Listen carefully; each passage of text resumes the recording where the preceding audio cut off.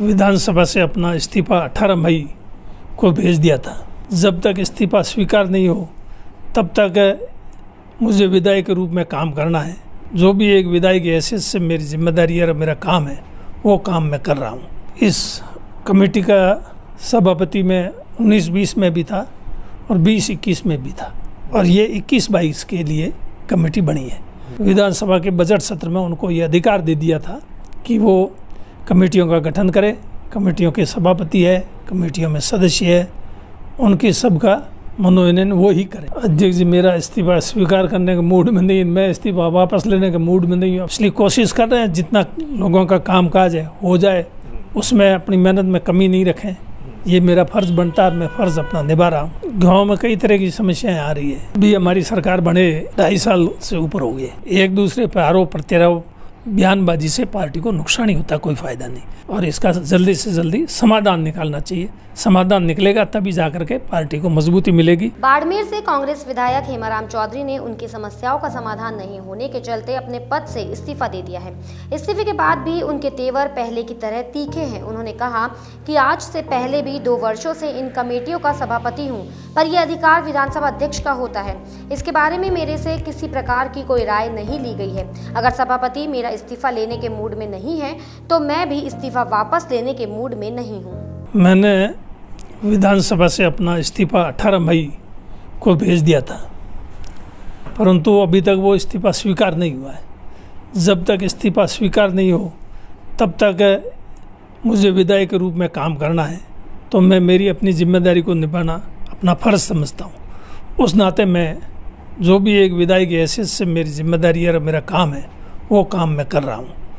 और इस्तीफा देने के बाद में अध्यक्ष जी ने मुझे एक पत्र भेजा, जिसमें उन्होंने लॉकडाउन के सात दिन बाद में पूर्व सूचना के मिलने का कहा था।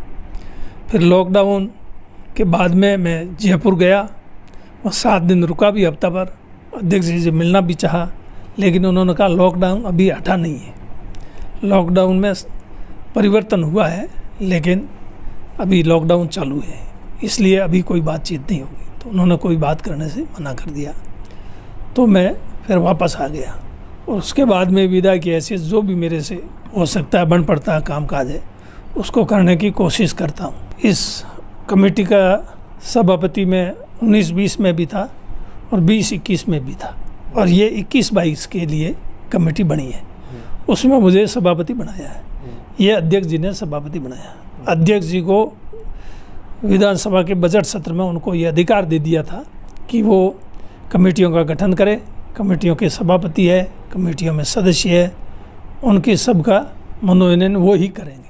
तो ये उन्होंने मनोनयन किया है। नहीं, अध्यक्ष जी से इस बाबत मेरी कोई बात नहीं। अध्यक्ष जी मेरा इस्तीफा स्वीकार करने के मूड में नहीं, मैं इस्तीफा वापस लेने के मूड में नहीं हूँ। अभी दोनों आपस में मिलेंगे, तभी आगे बात क्या होगी, क्या नहीं होगी, उस पर फैसला होगा। थोड़ा परिवर्तन पड़ा हुआ है, पहले से।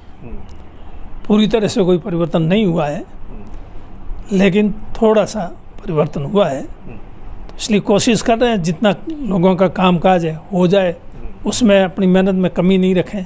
ये मेरा फ़र्ज़ बनता है मैं फ़र्ज़ अपना निभा रहा हूँ। गाँव में कई तरह की समस्याएँ आ रही है।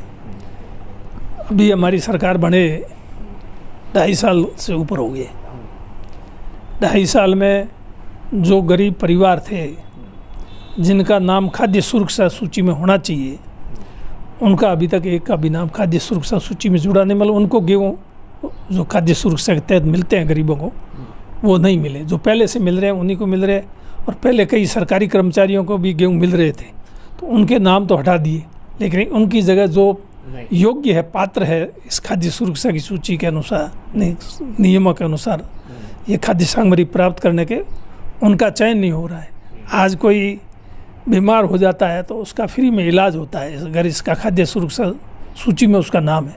अगर इस तरह का कोई है जिसके इलाज के लिए पैसा भी नहीं है, उसका नाम जुड़वाना चाहें तो वो भी नाम नहीं जुड़ रहा है। इस प्रकार की समस्याएँ भी बहुत आ रही है। और ये खास करके नरेगा है। तो इसमें भी काम जिस मात्रा में स्वीकृत होना चाहिए, उस मात्रा में काम भी स्वीकृत नहीं है। लोगों को रोज़गार मिलना चाहिए क्योंकि अभी बरसात हुई नहीं। लोगों को रोज़गार की बहुत बड़ी मांग है। उस मांग के अनुसार लोग गाँव में अभी नरेगा हाँ अभी नरेगा के काम भी नहीं हो रहे, कोरोना काल में और भी काम धंधे बंद हो गए तो लोगों को रोज़गार का बड़ा भारी संकट है आज के समय में गाँव में, ये गाँव में जाने से देखने को मिल रहा है। इस प्रकार और भी बहुत सारे मुद्दे हैं, जैसे पंचायत सहायकों का मुद्दा मैंने पहले उठाया, उनका अभी तक कोई हल हुआ नहीं, उनका नाम मात्र की मानदेय में बढ़ोतरी को वो बढ़ोतरी बढ़ोतरी नहीं है। दो हज़ार तेरह के अंदर ए एन एम की भर्ती के लिए कांग्रेस सरकार ने विज्ञप्ति जारी की थी। वो पद भी पिछली सरकार ने नहीं भरे और इस सरकार ने अभी भी वो पद भी नहीं भरे। वो देर तेरह की जो ए एन एम है, वो भी गाँव में जाते हैं तो पीछे पड़ जाती है।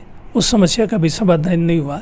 इस प्रकार की बहुत सारी समस्याएँ हैं। आजकल उनका समाधान होना चाहिए तो उसके लिए प्रयास कर रहे हैं। सरकार के बात ध्यान में ये ला रहे हैं कि भी इनका जल्दी से जल्दी समाधान हो। ये तो जो बयानबाजी कर रहे हैं, बयान दे रहे हैं, आप उनसे ही पूछें तो ज़्यादा अच्छा रहेगा। वैसे इससे कोई न कोई इसका हल निकलना चाहिए। एक दूसरे पर आरोप प्रत्यारोप, बयानबाजी से पार्टी को नुकसान ही होता, कोई फ़ायदा नहीं। इसको नेतृत्व को बिठा करके और इसका जल्दी से जल्दी समाधान निकालना चाहिए। समाधान निकलेगा तभी जा कर के पार्टी को मजबूती मिलेगी और कांग्रेस के फिर से वापस सत्ता में आने की संभावना बढ़ेगी।